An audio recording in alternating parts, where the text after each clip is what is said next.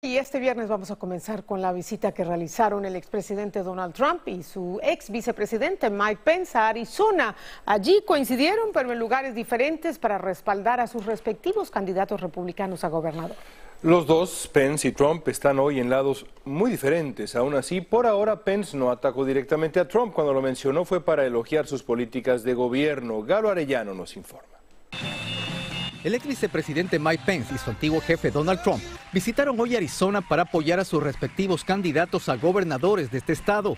Y sus presentaciones van anticipando lo que podría ser en un futuro cercano un enfrentamiento por obtener la nominación republicana para las elecciones presidenciales de 2024.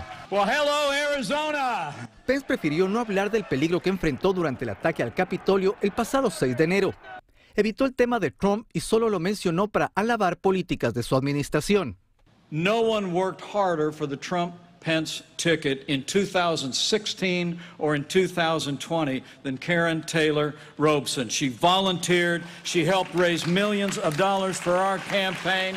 Yo creo que Pence está tratando de distanciarse de Trump eh, para Pence fue muy difícil la presión política que estableció el presidente Trump sobre él. Gran parte de su discurso estuvo destinado a criticar a la actual administración Biden. In one year of the Biden-Harris administration, we've seen the radical left in the saddle in Washington, D.C. They've unleashed a tidal wave of left-wing policies that have weakened America. Trump, en cambio, resultó más atrevido con su retórica.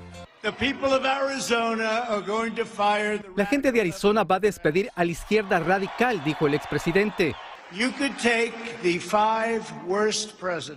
Ironizando, dijo que ni siquiera reuniendo a los cinco peores presidentes en la historia de Estados Unidos se ocasionaría el daño que Biden está causando. El expresidente Trump concentró gran parte de su discurso para criticar la actual economía del país. Recordó que en su administración la gasolina estaba, dijo, a un dólar con 87 centavos. También mencionó que su movimiento es imparable y que está respaldado por millones de votantes, dando de cierta manera una insinuación de que todavía tendría fuerza electoral para retornar a la Casa Blanca.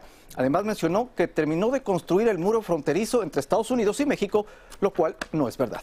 Patricia.